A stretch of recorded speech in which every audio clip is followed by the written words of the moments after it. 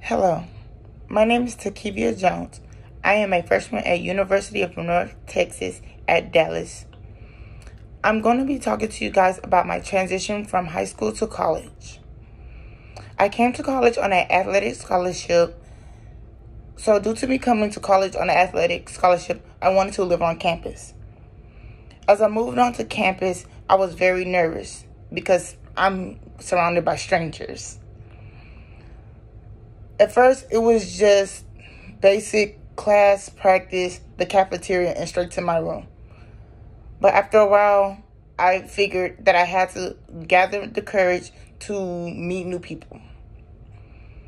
So I gathered the courage to talk to one of my teammates that seemed very, very in touch with other people. So as I hung out with her more around the school, I gained newer, newer friendships and stronger bonds with complete strangers.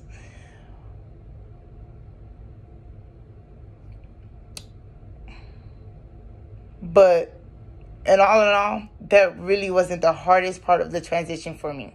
The hardest part of my transition from high school to college was the homework. Unlike high school, college homework is very complex. Like in high school, all your homework is basically handed to you and it's very easy to complete unlike in college, every class requires an essay, even for the smallest discussions amongst you and your peers. And these essays are not just your basic introduction paragraph with three body three supporting bodies and a conclusion.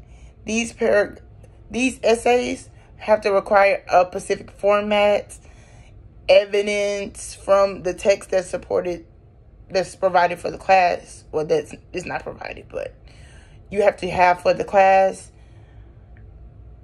and you also have to have any additional websites that you got your resources from for the for the essays and I overcame this obstacle by using my resources around my school, such as the Writing Center and Brainfuse. That's what like our professors require like some of our professors let us use. And I also asked my professors on ways to improve my work to meet their expectations.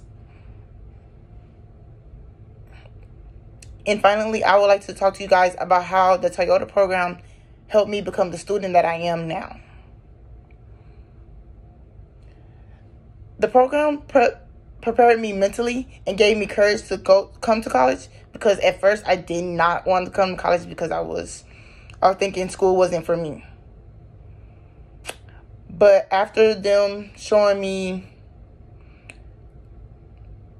the benefits of coming to college, such as like due to me having a good education in college and then the having degrees, it gives me opportunities for like higher jobs and it looks very good on resumes to have that degree to back me up for that job. It also helped me learn like the difference between talking to my friends and my family instead of instead of like having a conversation with my professors or like my boss because in in college, you cannot just straight up send an email to your professor be like, hey, I need this and that. No, you have to have a subject. You have to come with them with utterly respect. It's just, it's more higher up level. You can't talk to them. You cannot talk to professors or your boss like they're just one of your families or friends. You cannot shorten your text message or your emails. You have to send specifically what the email is about and then like a good amount of length of what do you need and like why are you sending that email or text to your professors but the program also taught me the the program also gave me opportunities to talk to politics that work that used to work with the president. That was one of my favorite opportunities that they gave me.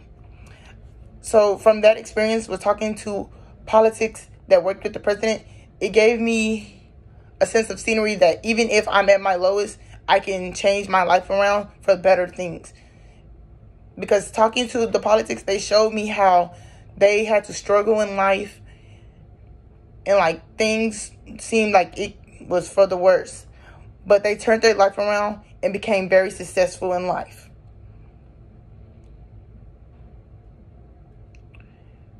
And furthermore, the program also gave me opportunities for scholarships to help me pay for college.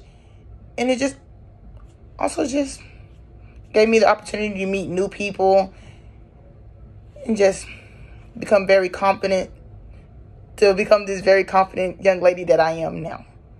Thank you.